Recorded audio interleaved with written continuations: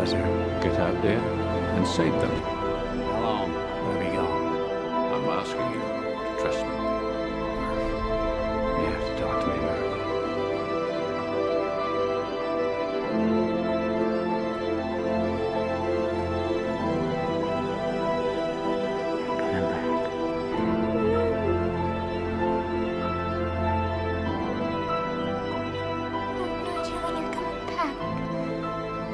you forever.